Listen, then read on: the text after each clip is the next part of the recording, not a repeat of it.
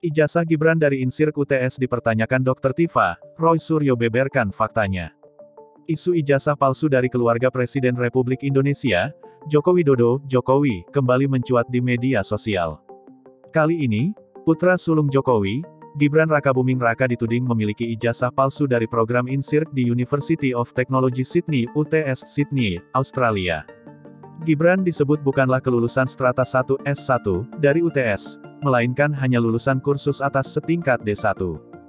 Hal tersebut pun dipertanyakan pegiat media sosial, Dr. Tifa lewat status Twitternya at Dr. Tifa pada Kamis, tanggal 16 November tahun 2023.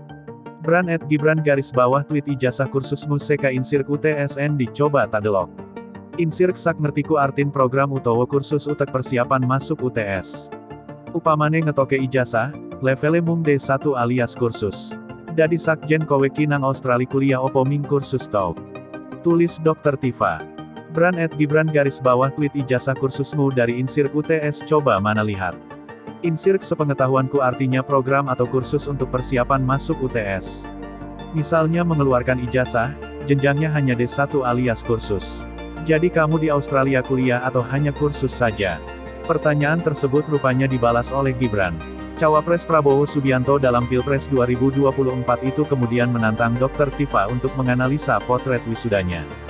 Tantangan itu dibuktikan Dr. Tifa lewat tangkapan layar sebuah pemberitaan berjudul, Sindir Dr. Tifa perihal ijazah palsu, Gibran, coba fotonya dianalisa siapa tahu hasil editan, dalam statusnya.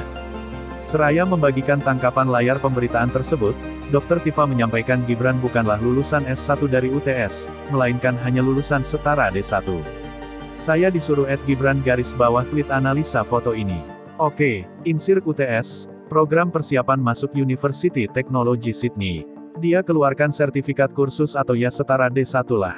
Artinya, wisudawan, adalah penerima sertifikat kursus, bukan ijazah bachelor sarjana UTS, tulisnya.